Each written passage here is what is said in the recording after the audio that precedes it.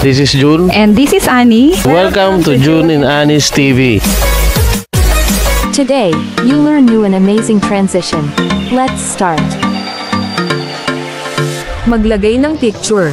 E-duplicate ang slide dahil gagamitin natin ang picture sa second slide mamaya. Right click. Choose Format Picture. Then, choose Transparency Make it 80%. Paste the picture from the second slide. Mag-download ng transparent icon iPhone at isakto ito sa part ng image na gusto mo.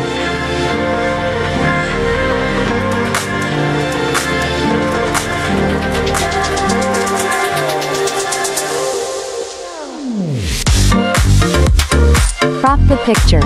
Make sure it fits to the transparent phone icon.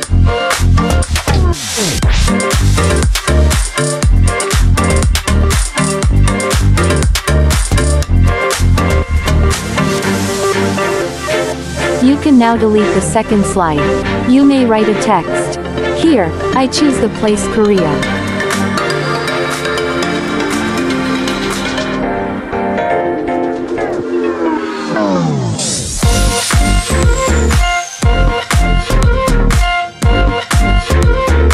Duplicate the slide. Then, move the text and the icon. For the picture, click crop and drag it on the left. Make sure it still fit to the phone icon.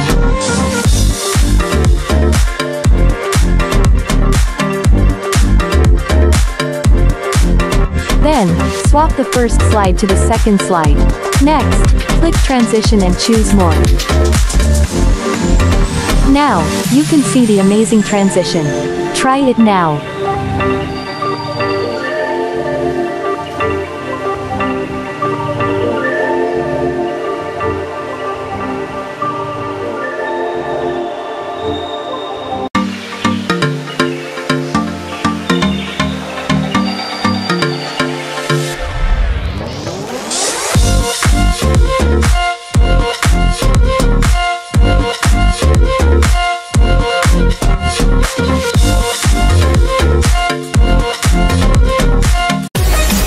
Subscribe now. Click the bell button so you will be updated with the latest tutorial.